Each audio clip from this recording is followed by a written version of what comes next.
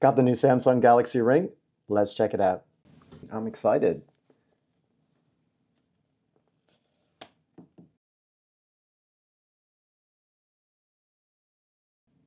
So this is a size 11. I did a um, measuring kit. They, they give you a bunch of rings that you can try on these little plastic ones. And this is the silver. You can see that there are sensors inside just in there. This is the charging kit. It's a Samsung USB-C in there. Put it on like that. What else you get in the box? Nothing. Oh wait.